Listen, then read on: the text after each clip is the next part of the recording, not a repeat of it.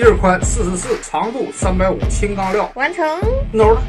嗨，大家好，给木友做一个包子，开干。你看他们管了哈，都用的大油叉子，一个罐头盒，放点那个碎布，完放油。我的习惯就是用这个蜡烛，够了，老好使了。学废了吗？人家都是机械加工，我这全是手工。都饱含了你的深情嘛。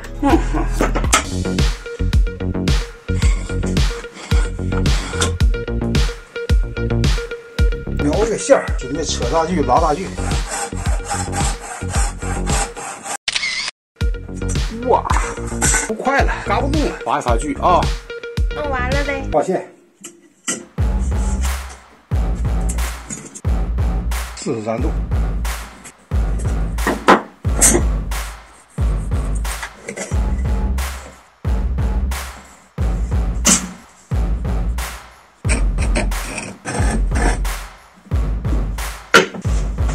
有一点点小瑕疵，没注意啊。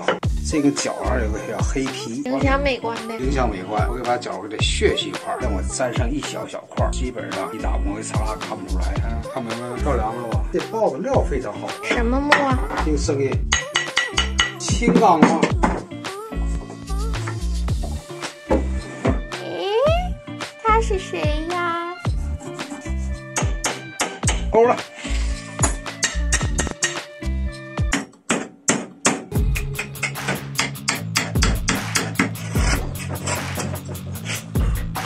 到哪一步了？爆血了。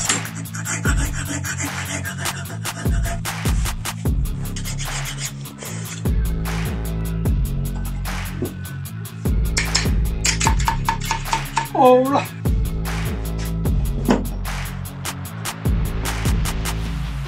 包子吧。对。我是拍这个，这个镶嵌，这镶嵌知道镶嵌啥不的？我不想知道。这是我那牙。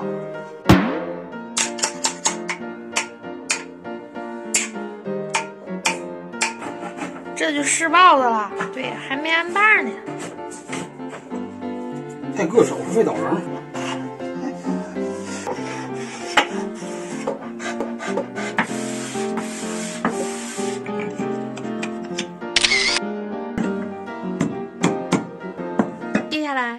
来做把。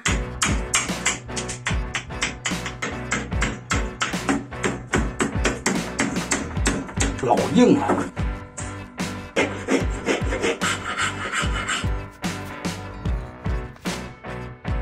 包子做完了，试包。包子如果好使，声音正确，就完活了。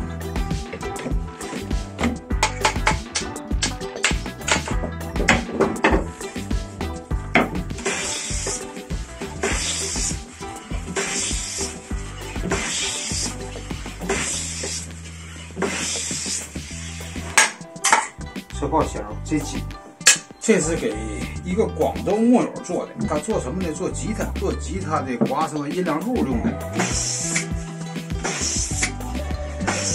啊，这样一上完颜色好好看。你可以爆完这个爆口，看这爆口行吗？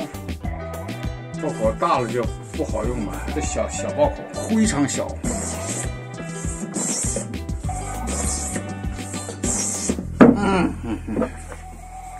把还没粘呢，没粘，它邮过去自己粘，粘完以后啊，包装不好用，也不好打包装。我已经给专业的琴师做包了，这是第三份了。有一个是做那个古琴的，古琴可好听了，声音。